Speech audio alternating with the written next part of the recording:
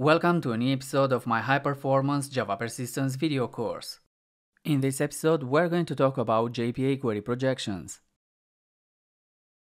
First, I'm going to explain the default query projection when using JPA and Hibernate. Afterward, we're going to see how we can use the JPA tuple container to reference the SQL projection column values by their aliases. Next, I'll explain how to create a DTO projection using the JPQL constructor expression as well as the SQL result set mapping annotation. Java 14 added support for records, and we will see that this new specialized Java type is very suitable for DTO projections. By default, JPA maps the SQL projection records to Java object arrays. The projection column values are stored in the Java object array according to their position in the SQL select clause. In our case, the ID column becomes the first element of the object array, while the title is stored as the second element. The default JPA projection applies to any JPA query type, be it JPQL, Criteria API, or native SQL, as illustrated by the following example. So, when executing a multi-column projection query without specifying an explicit result set mapping, the JPA provider maps each row in the JDBC result set to a Java object array. Testing time. To see how the default JPA query projection works in practice, go to my high-performance Java Persistence GitHub repository and open the JPA DTO projection test. The test class uses a parent post entity and the post comment child entity.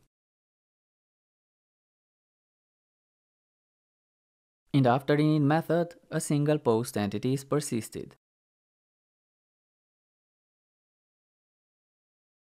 The test default projection unit test shows how the default projection works when executing a JPQL query that selects multiple entity properties.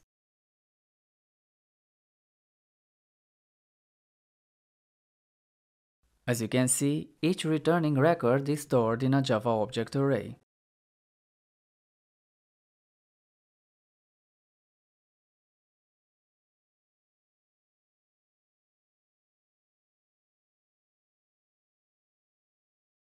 The next test case is going to fetch the default JPA query projection using a native SQL query. As already explained, if the multi-column projection query doesn't specify an explicit result set mapping, the returning records are wrapped in Java object arrays.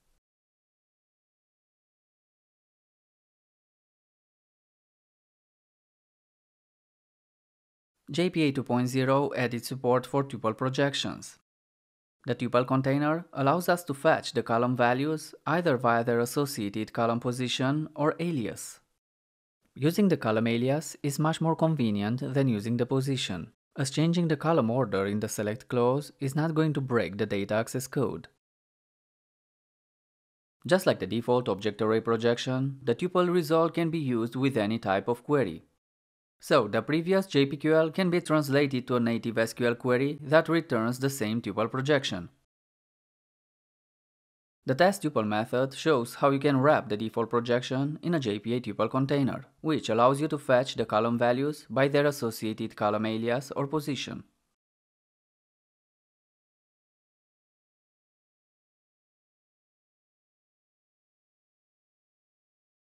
When running the test tuple method in debug mode, we can see that the tuple acts as a Java map, where the SQL query column aliases are the keys, while the map values are the SQL projection column values.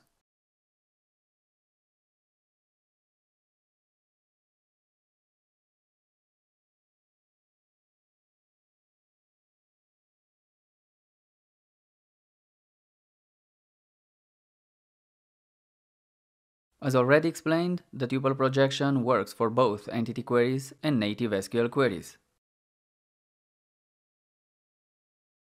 So, when running the test tuple native query method, we get the same outcome as with the previous JPQL tuple query example.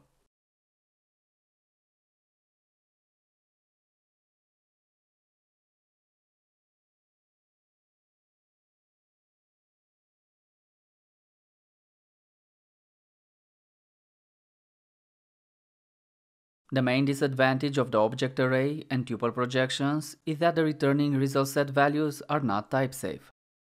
On the other hand, using a data transfer object or DTO is much more convenient, since each DTO property has a predefined type. Therefore, we can map our SQL projection that consists of the ID and title columns to the following post-DTO object. The title column type is varchar, so the title property in the post-DTO class is of the string type. The ID column type is BigInt. However, depending on the underlying JDBC driver, a BigInt column value can be fetched either as a long or a big integer Java object. To accommodate both options, you can use the number object type in the DTO constructor argument and extract the long value prior to initializing the ID field. The JPQL constructor expression maps the SQL projection to a DTO, whose Java class matches the provided fully qualified name. The DTO Java class must define a constructor matching the SQL projection column values. The test constructor expression method demonstrates how we can get a DTO result set from a JPQL query execution. As you can see, the JPQL query returns a list of PostDTO objects, which have the ID and the title populated by the SQL projection column values.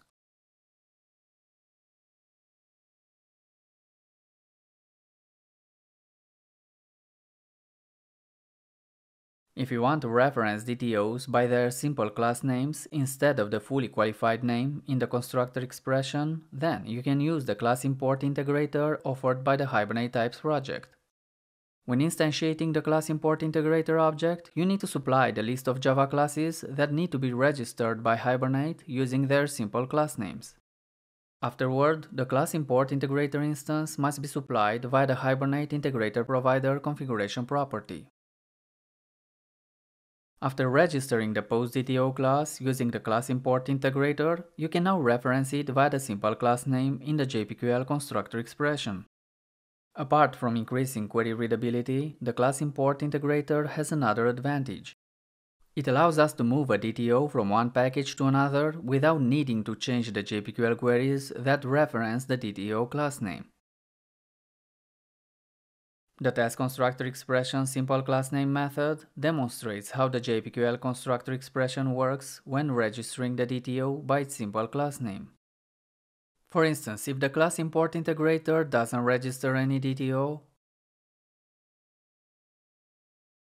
and we run the JPQL query that references the DTO by its simple class name, we can see that the test fails.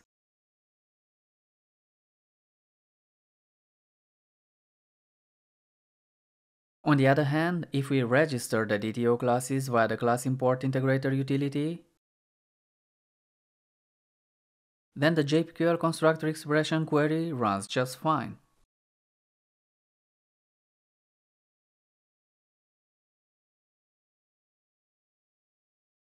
Although it's very easy to write a Hibernate integrator provider that can register DTO classes, you don't really need to do that, since you can use the class import integrator implementation provided by the Hibernate Types project.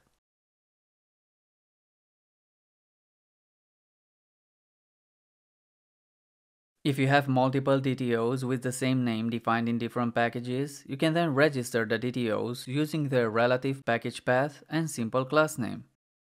By providing a package path to be excluded from the fully qualified class name, the class import integrator class will then register the partially qualified DTO class name as illustrated by the following JPQL query example. As you can see, this JPQL query doesn't use the fully qualified name of the post-DTO class. Instead, we only use the relative package path and the simple class name, since the class import integrator has registered this alias when the Hibernate session factory was initialized. The JPA SQL result set mapping annotation allows you to map an SQL projection to a Java DTO class.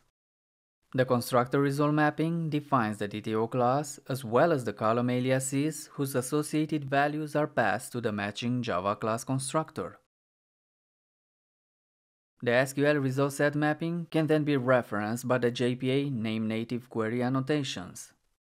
The SQL query needs to use the same column aliases that are referenced by the constructor result mapping. The previously defined name native query can be executed using the create name query JPA entity manager method as illustrated by the following example. The create name query JPA method works for any type of name query, be it JPQL or native SQL.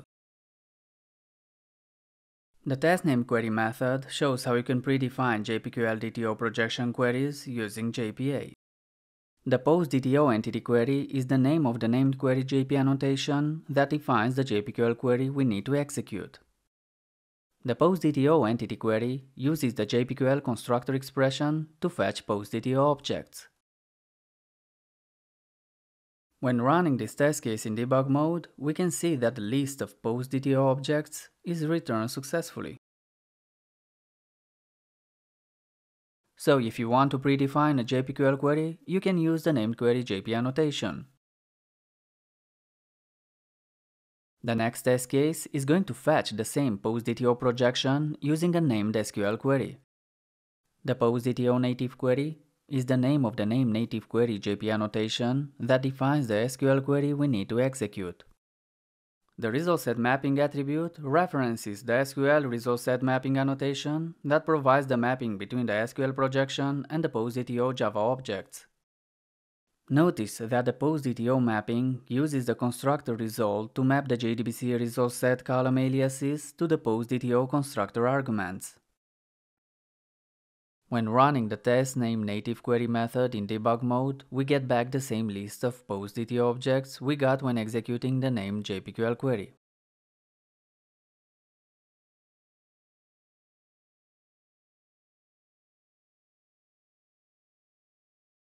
Java 14 added support for records, which are ideal for DTO projections.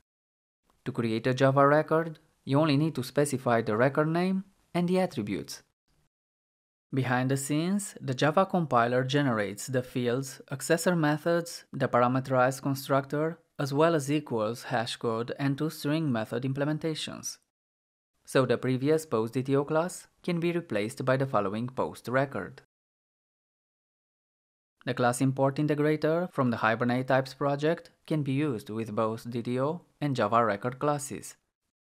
Therefore, to fetch a post-record projection, we can use the following JPQL query. Notice that Java records don't use the Java beans getter and setter naming conventions, so the method accessors are identical to the record attributes. The test record integration test shows how you can fetch a post-record projection from the underlying post database table. Just like the PostDTO class, the post record has two attributes, ID, and title. To reference the post record by its simple class name in the JPQL constructor expression, the class import integrator registers the post record type in the same way as with the PostDTO class. When running the post record JPQL projection query, we can see that the post record instances are properly instantiated using the ID and the title column values. Being more compact, the Java records are a very convenient alternative to the legacy data transfer object types, especially for projects where the number of DTOs is very large.